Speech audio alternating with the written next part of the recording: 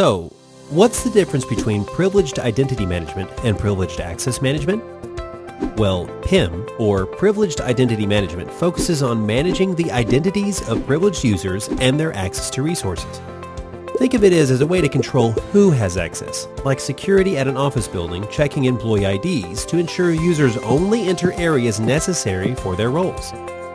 On the other hand, PAM, or Privileged Access Management, ensures that users with access to sensitive information are closely monitored to protect organizations from potential cyber threats.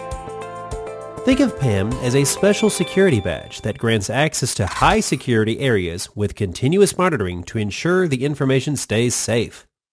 PIM and PAM are like teammates.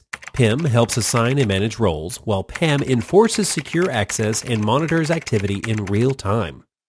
Together, PIM and PAM provide a comprehensive approach to managing privileged accounts and minimizing security risks.